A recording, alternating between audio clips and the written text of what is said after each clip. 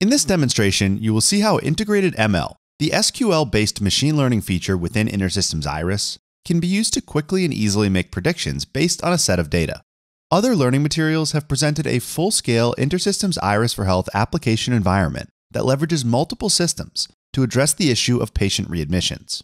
By using an application that assesses a set of patient data and makes predictions on which patients might be readmitted, hospital staff can take preventative action before discharging a patient, potentially lowering their risk of readmission and saving hospitals time and resources. In this demo, we will use a simplified approach, employing integrated ML to make predictions based on patient data that exists in a single instance of InterSystems Iris. Here we have an SQL client, dbeaver, connected to InterSystems Iris. The dataset we're looking at has already been aggregated and prepared for the purposes of our demo.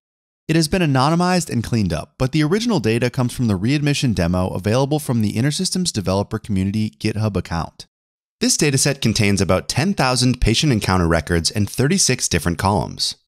These columns contain a number of important values related to a patient's history. The length of a patient's hospital stay, if they are a smoker, whether they have a chronic condition or illness, the number of past admissions, and much more. These 10,000 records make up the training data we will use to train the predictive model that we create. There are about 4,000 additional records in a separate table, which we will use as our testing data.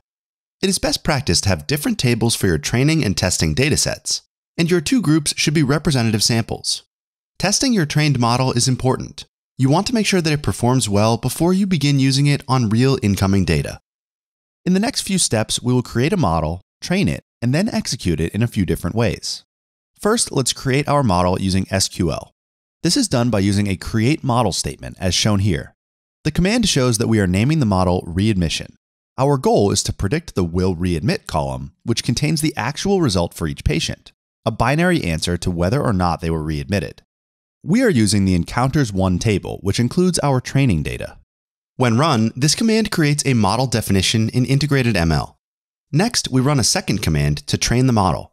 This command is simple. We just include the name of the model we created a moment ago, following the command train model.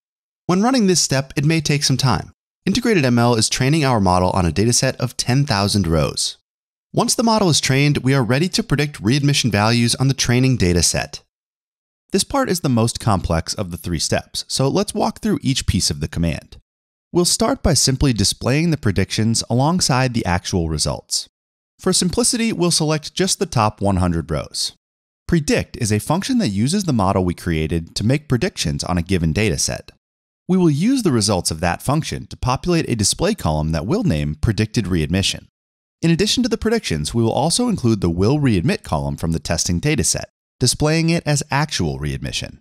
This query is run on the Encounters 2 table, which includes our testing data. The result of this entire select statement will be a side-by-side display of the actual and predicted readmission results for the top 100 records in the table. Let's run this and see what comes back. From this very small sample, it appears the model performed pretty well, but not perfectly. In this particular example, here were some of the results for the entire set. Let's run this query again with an additional display column. We will include the probability function in addition to the predict function. The probability function returns the probability of the prediction being 1, in this case a probability of readmission for a given patient. As we can see, the results now have an extra column that shows the probability that integrated ML calculated. These probabilities are a huge part of what led to the actual predictions, and can be useful if we want more than just the prediction for each record. Remember, integrated ML does not replace the role of data scientists in the development of a complex machine learning application. But with a set of clean data and three simple SQL commands, you can already obtain some predictions to help identify patients at risk of being readmitted. You could also build models for different scenarios looking at specific patient details. For example, perhaps you find that your model is particularly inaccurate for patients who used to be smokers. You might choose to build a separate model that assesses patients with smoking history to get more accurate results. You have now seen a basic example of how integrated ML can be used to make predictions on a set of data in InterSystems Iris.